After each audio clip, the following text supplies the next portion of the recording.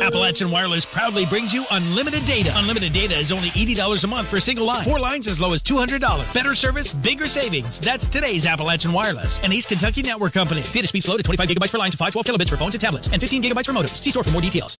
They don't want to wait on the bill, but they expect us to wait on the water. Some residents in Martin County have been without water since Sunday night. At this point, officials have not given a definitive answer for when those in Lovely and Beauty will see service restored. My kids don't have clean clothes. They can't take a bath. I, I can't cook. I can't wash dishes. I can't even flush my toilets without going to the creek and carrying water. You know, I just want somebody to give me a straight answer. The Kazee family walks to the creek and fills up 12 one gallon jugs at least once a day, if not more, just to flush toilets in their home.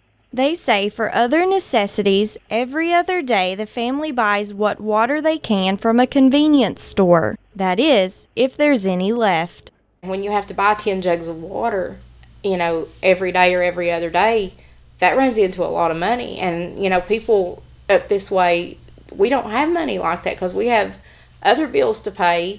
Tuesday, the Martin County Water District announced a potential rate increase of 50%. The Kazee family says that's unacceptable.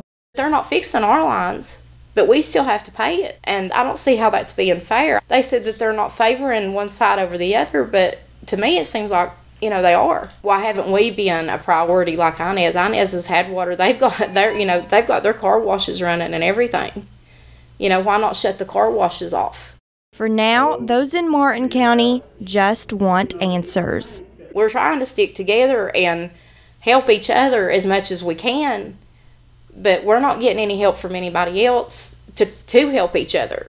The Martin County Fiscal Court held an emergency meeting last night discussing the water issues. But as of now, nothing was resolved. In Lovely, Shelby Porter, EKB News.